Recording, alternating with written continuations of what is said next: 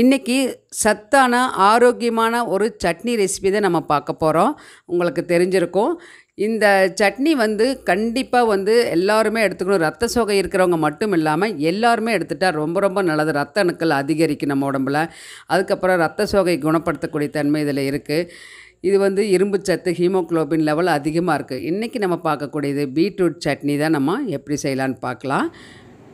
இது வந்து ரொம்ப ரொம்ப சத்தானதும் ஆரோக்கியமானதும் கூட. Welcome back to Nalini Sundar's kitchen இன்றைக்கி பீட்ரூட் சட்னி எப்படி செய்யலான்னு பார்க்கலாம் வாங்க. இதுக்கு வந்து டூ ஃபிஃப்டி கிராம்ஸ் இல்லை. இந்த பீட்ரூட் ஒரே ஒரு தான் நான் எடுத்துட்டேன். இதை தோல் சீவி நான் எடுத்துட்டேன். ஃப்ரெஷ்ஷாக இருக்கும்போதே நம்ம இதை வந்து செஞ்சிடணும். அப்போ தான் அதனுடைய சத்துக்கள் நம்மளுக்கு முழுமையாக கிடைக்கும்.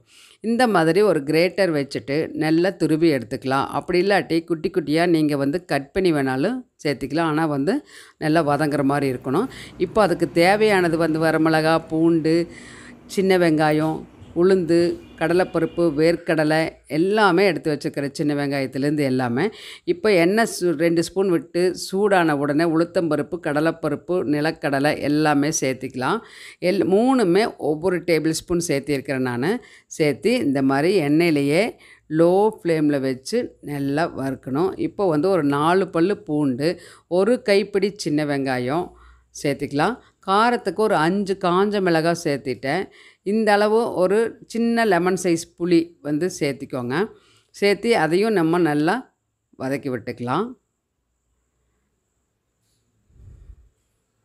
அதுக்கப்புறம் நம்ம துருவி வச்சக்கூடிய பீட்ரூட்டை இது கூடவே சேர்த்திக்கலாம்.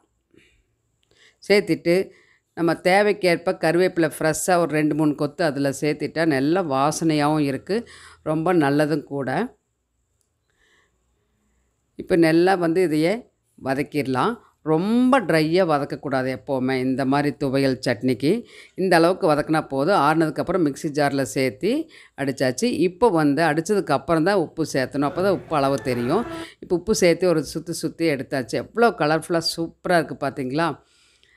இது கலரை பார்த்தாலே அவ்வளோ அட்ராக்டிவாக இருக்குது இந்த மாதிரி சட்னி வந்து உடனே குயிக்காக நம்ம பண்ணிட்டோம். இது வந்து இட்லி தோசை சப்பாத்தி குழந்தைகளுக்கெல்லாம் சப்பாத்தியில் நல்லா வந்து ஸ்டஃபிங்காக கொடுக்கலாம். ரோல் பண்ணி கொடுத்தா சாப்பிடுவாங்க. ரொம்ப நல்லாயிருக்கும் இப்போது இதுக்கு ஒரு தாளிப்பு போட்டுடலாம். ஒரு டேபிள் ஸ்பூன் எண்ணெய் விட்டு எண்ணெய் சூடான உடனே ஒரு கால் ஸ்பூன் கடுகு.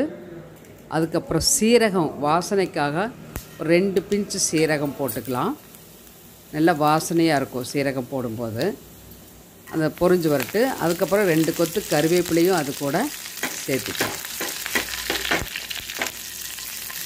இந்தளவு லைட்டாக பொரியட்டு. பொரிஞ்ச உடனே நம்ம வந்து அந்த சட்னியில் சேர்த்துக்கலாம். அந்த சீரகம் சேர்த்தும் போது அந்த வாசனை சூப்பராக இருக்கும். அந்த துவையலுக்கு வந்து நீங்கள் நல்லெண்ணெயில் வேணாலும் தாளிச்சிக்கலாம். அப்போ ரொம்ப நல்லாயிருக்கும் இந்த ரெசிபி குயிக்காக ஈஸியாக பண்ணிடலாம். ஆரோக்கியமான ரெசிபி. பிடிச்சிருந்தால் லைக் பண்ணி ஷேர் பண்ணுங்கள் இது வரைக்கும் சப்ஸ்கிரைப் பண்ணாமல் நம்ம சேனல் நிறைய பேர் watch பண்ணிகிட்ருக்குறீங்க please subscribe to our channel Nalini Sundar's kitchen and தொடர்ந்து உங்களுடைய சப்போர்ட்டை நம்ம சேனலுக்கு கொடுத்துட்டே இருங்க. இதே மாதிரி இன்ட்ரெஸ்டிங்காக வேற ஒரு சிம்பிளான ஒரு ரெசிபியோட நெக்ஸ்ட் டே பார்க்கலாம். தேங்க்யூ பாய் பாய்